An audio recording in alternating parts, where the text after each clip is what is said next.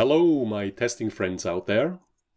My name is Ilari Henrik Aegerter and I'm the CFH of House of Test. CFH stands for Cyborg Friendly Humanist. A cyborg friendly humanist acknowledges that software encapsulates both the technical and the social world. Or in other words, it basically includes almost everything. I'd like to offer you a three-point plan to become an excellent software tester. And I want you to be successful, because the more skilled testers there are out there, the better for our profession.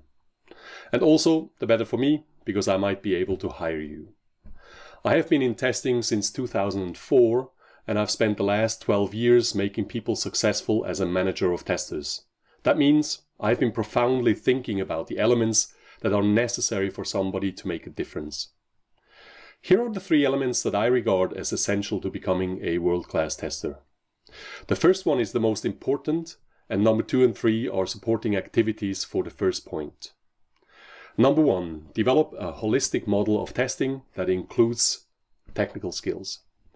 Number two, build your network inside and outside of your company. And number three, teach what you know to others. Let's start with the first and most important point. Develop a holistic model of testing that includes technical skills. It is not sufficient to know how you operate specific tools or having a certificate or anything of that sort. You need to be able to put them into context of the task at hand. If you don't understand the discipline of testing, you're just operating a useless machine. Understanding that testing both involves the confirmation or refutation of explicit expectations about the functioning of your software. Yes, much is written down in the form of specifications and requirements. Still, by definition, in an open system, which most software is, you cannot have a complete set of descriptions of every single behavior your software is doing. That means you need to understand that much of software can only be discovered through elaborate experimental design.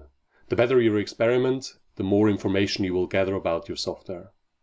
And you have all been there. You do something, and oh, what a surprise! You discover ele elements that surprise you.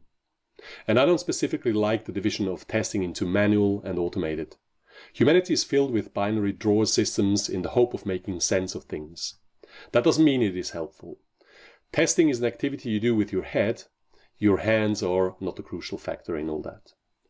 As a skilled tester, you know how to apply tools in your daily work. It is not helpful dividing your holistic approach into manual versus automated. So think about that a little bit uh, further. A better way of understanding testing is to evaluate the degree of tool use and being clear about the purpose of your actions. Are you trying to confirm or refute the known unknowns? Or are you trying to reveal new information about your product? The unknown unknowns. I highly recommend looking into Dave Snowden's Cynefin model. We will not be uh, going into that model because it would take too long. But I'm confident you know how to operate the search engine of your choice to find the richness of information about it. In terms of te technical skills, I believe it is essentially helpful to have software development skills in order to be a good tester. That does not mean you need to be the best developer, because that is not your job, but it helps you to build better models of the product you're testing. I think the minimum level you need to aim for is to at least have interactional expertise in software development, to have a meaningful technical discussion with a developer. If you want to look uh, further into interactional expertise, then read the works of Harry Collins. If your development skills are more than that, then it's even better. Now to the second point. Build your network inside and outside of your company. In my experience, a vast majority of testers never leave the narrow environment of their company. Or if it is a larger company, there is not much contact with other teams within your company. I have never understood why that is the case. And also I think it's uh, wrong. If you build meaningful relationships with fellow testers everywhere, then that allows you to expand your knowledge rapidly. It also allows you to tap into the broader knowledge of people within the community. If you're faced with a technical problem and you don't uh, see a solution for it, just ask around, get to know people, talk with them about testing. It's a wonderful world out there and it is so easy to get in contact with other people. Much of network building can be done at no or low cost. Go to local meetups, sign up for webinars, or organize your own gatherings. The possibilities are endless. And my last advice, teach what you know to others. If you put yourself into the mindset of a teacher, then that forces you to reflect and study a topic much more in depth than you would otherwise.